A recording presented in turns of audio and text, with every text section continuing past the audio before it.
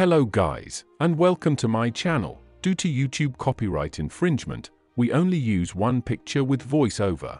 Thank you for understanding. If you love history and biographies please leave a like and a sub. Let's start the video.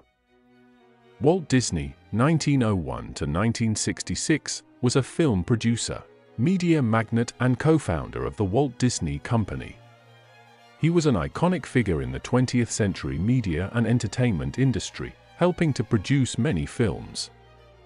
With his staff, he created famous cartoon characters, such as Mickey Mouse and Donald Duck. His name was also used for the successful Disney theme parks. During his lifetime, he received a record 59 nominations for the Academy Awards, winning 22 awards. Walt Disney was born on the 5th of December, 1901, in Chicago. His parents were of German, English and Irish descent. As a child, the Disney family moved between Marceline in Missouri, Kansas City and back to Chicago. The young Walt Disney developed an interest in art and took lessons at the Kansas City Institute and later Chicago Art Institute. He became the cartoonist for the school magazine when America joined the First World War. Walt dropped out of school and tried to enlist in the army.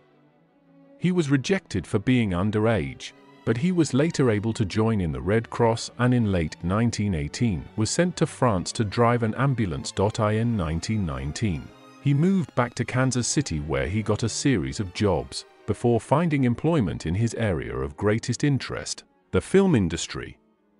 It was working for the Kansas City Film Ad Company that he gained the opportunity to begin working in the relatively new field of animation.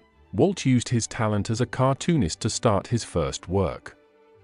The success of his early cartoons enabled him to set up his own studio called Laugh-O-Gram.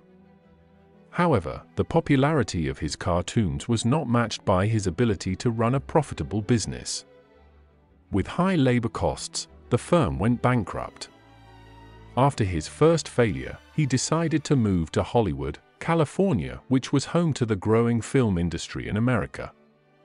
This ability to overcome adversity was a standard feature of Disney's career. In 1927, the Disney studio was involved in the successful production of Oswald the Lucky Rabbit, distributed by Universal Pictures. However, with Universal Pictures controlling the rights to Oswald the Lucky Rabbit, Walt was not able to profit from this success. He rejected an offer from Universal and went back to working on his own. It was at this point that he created the character Mickey Mouse, originally called Mortimer Mouse. Ub Iwerks drew Mickey Mouse, and Walt gave a voice to the character. The Mickey Mouse cartoons with soundtracks became very popular and cemented the growing reputation and strength of Disney productions. The skill of Walt Disney was to give his cartoons believable real-life characteristics.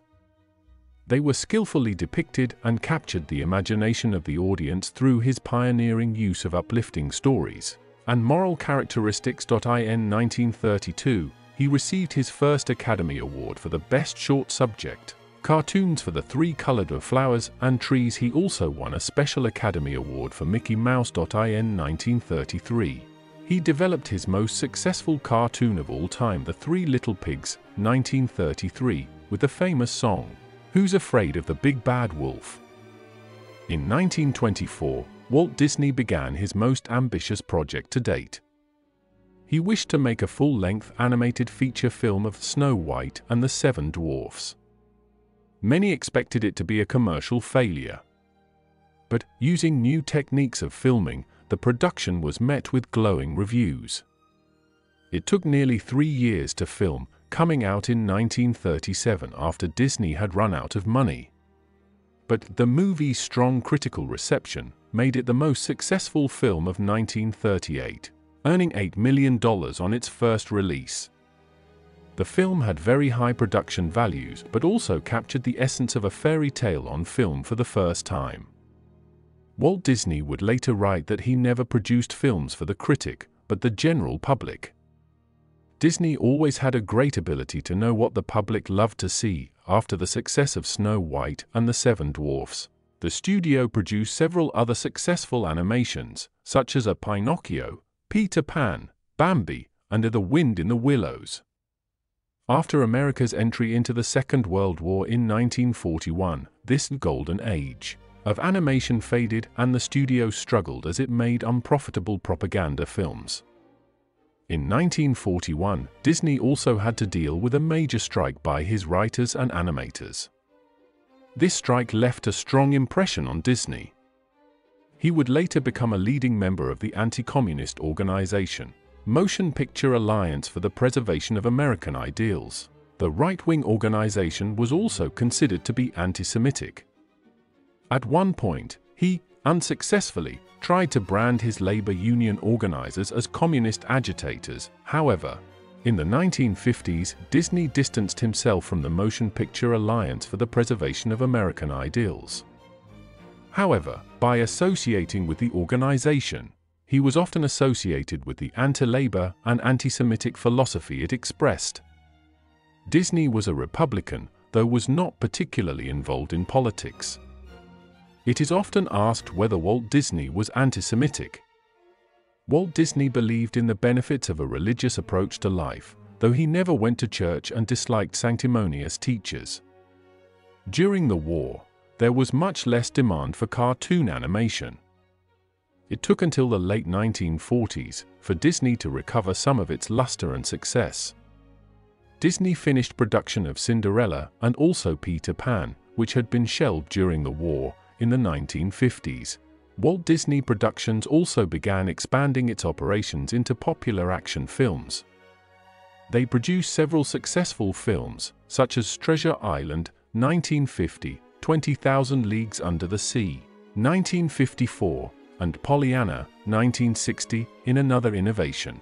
The studio created one of the first specifically children's shows, The Mickey Mouse Club. Walt Disney even returned to the studio to provide the voice. In the 1960s, the Disney empire continued to successfully expand. In 1964, they produced their most successful ever film, A Mary Poppins.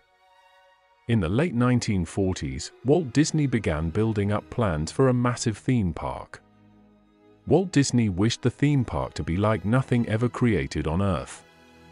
In particular, he wanted it to be a magical world for children and surrounded by a train. Disney had a great love of trains since his childhood when he regularly saw trains pass near his home. It was characteristic of Walt Disney that he was willing to take risks in trying something new. After several years in the planning and building, Disneyland opened on July 17, 1955. Disney spoke at the address, the success of Disneyland encouraged Walt to consider another park in Orlando, Florida.